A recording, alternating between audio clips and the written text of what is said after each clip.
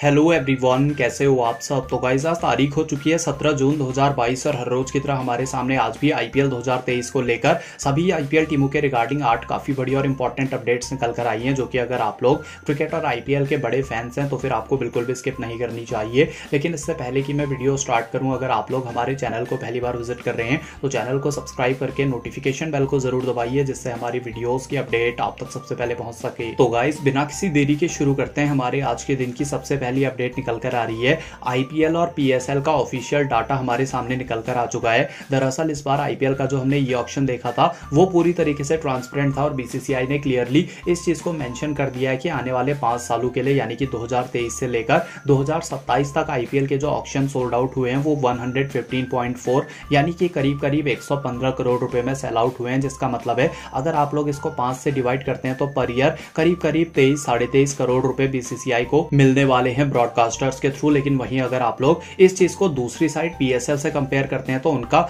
जो sold out हुआ था लास्ट ईयर जो उनका ई ऑप्शन का सेल आउट हुआ था सारे राइट्स का तो उसमें पीएसएल दो सालों के लिए 2.76 करोड़ रुपए पर मैच के हिसाब से गया था, यानी कि सिर्फ़ 1.38 करोड़ ये है तो आप लोग क्लियरली देख सकते हैं कि कितना ज़्यादा डिफरेंस है मतलब सिंपल वर्ड्स में जो आईपीएल है, वो पीएसएल के कंपैरिजन में तेईस गुना ज़्यादा है पैसे कमाने के डिपार्टमेंट में। कमेंट सेक्शन में कमेंट करके आप लोग बताइए, आप लोगों के हिसाब से आईपीएल या फिर पीएसएल कौन सी लीग आप लोगों को ज़्यादा बेहतर लगती है। फ़िलहाल हम चलते हैं हमारे आज के दिन की दूसरी बड़ी अपडेट की तरफ़ और ये निकल कर आ रही है डबल रिवेन्यू के रिगार्डिंग दरअसल बीसीसीआई ने ई ऑप्शन तो कंडक्ट करवा ही दिया है और उससे आप लोगों को इतना तो अंदाज़ा लग ही गया होगा कि लास्ट सालों के कंपैरिजन में कितनी ज़्यादा इनकम बढ़ने वाली है, ना सिर्फ़ बीसीसीआई की बल्कि सभी की सभी आईपीएल टीमों की। और बीसीसीआई ने जो ई ऑप्शन कंडक्ट करवाया है, उसके बाद उनके ऑफिशियल स्टेटमेंट के अकॉर्डिंग जितनी भी आईपीएल की टीमें हैं, यानी कि दस की दस आईपीएल टीमें उनका रिवेन्यू सीधा सीधा डबल हो जाएगा। यानी कि अभी तक जितने भी जो पैसे एडवर्टीजमेंट वगैरह से कमा रहे थे स्पॉन्सर्स वगैरह से कमा रहे थे, वो सीधे सीधे इस आईपीएल के बाद आप लोगों को डबल होते हुए देखने को मिलेगा।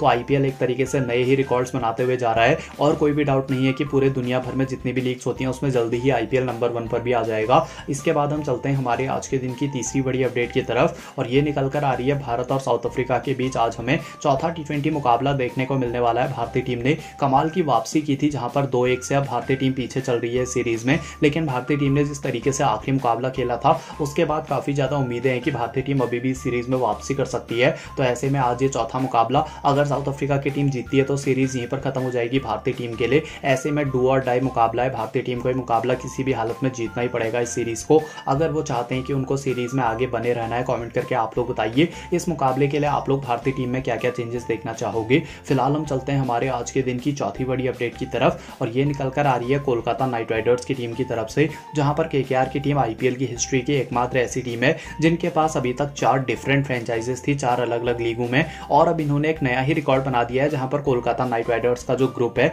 जो इनके ओनर्स हैं, उन्होंने एक और टीम को परचेज कर लिया है। इससे पहले अगर इनकी चार फ्रेंचाइज की बात की जाए तो कोलकाता नाइट राइडर्स, जो कि इनकी आईपीएल में खेलती है, दूसरा ट्रिनबागो नाइट राइडर्स, जो कि इनकी कैरिबियन प्रीमियर लीग यानी कि सीपीएल में खेलती है, उसके बाद लॉस एंजलस नाइट राइडर्स, जो कि इनके यूएसए में क्रिकेट के रिगार्डिंग एक टीम है, और उसके बाद अबू धाबी नाइट राइडर्स जो कि इनके टी लीग में हमें खेलते हुए देखने को मिलती है। इसके बाद एक और टीम इन्होंने परचेज कर ली है, और ये टीम है ट्रिनबागो नाइट राइडर्स ही इसका नाम है। लेकिन ये विमेंस के लिए स्टार्ट हुई है, जो कि सीपीएल विमेंस का स्टार्ट होते हुए हमें जल्दी देखने को मिलने वाला है। तो इसके साथ ही कोलकाता नाइट राइडर्स की टीम ने नया ही रिकॉर्ड बना दिया है, जहाँ पर ये टीम अब इकलौती ऐसी टीम बन गई है, जिनके पास पाँच फ्रेंचाइज टीम है, यानी कि जिनके ओनर्स के पास पाँच अलग अलग स्ट्रीम्स में टीम है। तो काफ़ी ज़्यादा इनकी ब्रांड वैल्यू हमें बढ़ते हुए देखने को मिलेगी। अब हम चलते हैं हमारे आज के दिन की पांचवी बड़ी अपडेट की तरफ़। और गाइस कल हमने आपको बताया था विजिटिंग मुकाबलों के रिगार्डिंग हमने आपको कहा था कि आने वाले फ्यूचर में बीसीसीआई के प्लान्स हैं कि जो आईपीएल की टीमें हैं, वो एक दूसरे के पास जाकर बायोलेट्रल सीरीज़ टाइप के मुकाबले आपको खेलते हुए देखने को मिलेंगी। और अब इसमें एक और चीज़ का एडिशन हो चुका है, जहाँ पर आईपीएल की टीमों को ये भी मौका दिया जाएगा कि आने वाले टाइम में ये प्लान है कि वो इंटरनेशनल टीमों के खिलाफ जाकर मुकाबले खेलेंगी। मतलब सिंपल वर्ड्स में आप लोग सोच सकते हैं कि जैसे सीएसके फॉर एग्ज़ाम्पल एक टीम है। सी की टीम आने वाले टाइम में आपको टूर पर जाते हुए देखने को मिलेगी बाहर की जो कंट्रीज़ हैं, जैसे कि इंग्लैंड ऑस्ट्रेलिया न्यूजीलैंड इनके अगेंस्ट और उनके घरों में जाकर ये बायोलेट्रल सीरीज़ आप लोगों को खेलते हुए देखने को मिलेंगे। अब हालाँकि बीसीसीआई ने अपनी साइड से तो ये अनाउंसमेंट कर दी है कि इस तरीके के मुकाबले हमें देखने को मिलेंगे, लेकिन शायद उनके जो क्रिकेट बोर्ड हैं, वो इस बारे में मानेंगे या फिर नहीं, ये बात की बात है, क्योंकि पास्ट में भी जब भी इस तरीके की कुछ बात आई है उनके बोर्ड के ऊपर तो उन्होंने अक्सर ही आईपीएल को नेगेटिवली ही लिया है। कमेंट करके आप लोग बताइए कि आप लोगों के हिसाब से अच्छा आइडिया है कि आपको लगता है इसको इंप्लीमेंट किया जाना चाहिए। फ़िलहाल हम चलते हैं हमारे आज के दिन की छठी बड़ी अपडेट की तरफ़ और ये निकल कर आ रही है राहुल तिवाटिया की तरफ़ से, जहाँ पर राहुल तिवाटिया गुजरात टाइटन्स की टीम में थे। इससे पहले राजस्थान रॉयल्स की टीम में भी मायरिकुलस परफॉर्मेंसेज इन्होंने दी थी और गुजरात टाइटन्स की साइड से भी बल्ले से इस बार काफ़ी ज़्यादा कमाल किया था, जिसके बाद इनको उम्मीद थी कि एटलीस्ट साउथ अफ्रीका सीरीज़ ना सही, लेकिन आयरलैंड सीरीज़ में तो इनको चांस दिया जाएगा,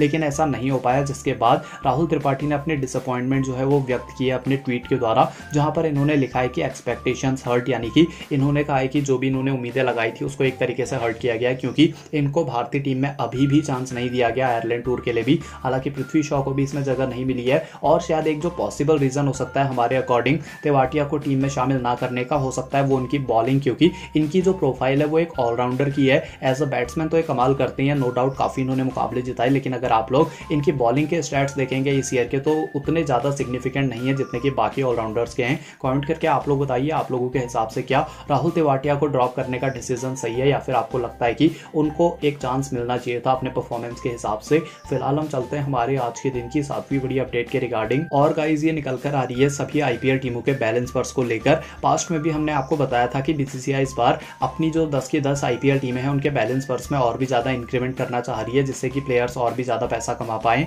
और इसके रिगार्डिंग बीसीसीआई ने अभी कुछ टाइम पहले ही जितने भी जो डोमेस्टिक सर्किट के प्लेयर्स हैं, उनकी सैलरी बढ़ाई है तो ऑब्वियसली बात है आईपीएल तो बीसीसीआई का फेवरेट प्रोडक्ट है। और ऐसे में इसके बैलेंस वर्स और प्लेयर्स की सैलरी बढ़ाने के लिए भी वो ज़रूर काम करने वाले हैं, जिसका मतलब है बैलेंस वर्स जो कि ऑलरेडी नाइन्टी करोड़ है, जो कि बहुत ही ज़्यादा है। इसको बढ़ाकर और भी ज़्यादा, यानी कि इवन 95 करोड़ से भी ऊपर आप लोगों को बीसीसीआई पुश करते हुए देखने को मिलेगी। जिसका मतलब है कि प्लेयर्स जो भी हैं, वो और भी ज़्यादा महँगे बिकेंगे और टीमें और भी ज़्यादा स्पेंड कर पाएँगी इन प्लेयर्स के ऊपर। फ़िलहाल हम चलते हैं हमारे आज के दिन की आठवीं और आखिरी अपडेट की तरफ़ और ये निकल कर आ रही है जॉनी बेरिस्टो की तरफ़ से। जॉनी बेरिस्टो ने कहा कि ऐसे काफ़ी सारे इंग्लैंड के प्लेयर्स हैं, जो कि आईपीएल खेलने के लिए नहीं आते हैं और उन्होंने उनको भी सजेस्ट किया था कि आप भी आईपीएल खेलने के लिए मत जाओ। लेकिन अभी आपने उनकी इनिंग देखी होगी जो कि न्यूजीलैंड के खिलाफ आई है। मतलब ये एक ऐसी इनिंग है जिसको आप टी मान सकते हो। ऐसे तो कौन ही खेलता है टेस्ट में। तो बैरिस्टो ने कहा कि इसीलिए वो आईपीएल खेलना चाहते हैं क्योंकि जिस टाइम पर बाकी सभी प्लेयर्स रेस्ट कर रहे होते हैं या फिर अपने टेस्ट क्रिकेटिंग स्किल्स पर ध्यान दे रहे होते हैं, उस टाइम पर बैरिस्टो आईपीएल में दुनिया भर के बेस्ट प्लेयर्स के अगेंस्ट खेल रहे होते हैं।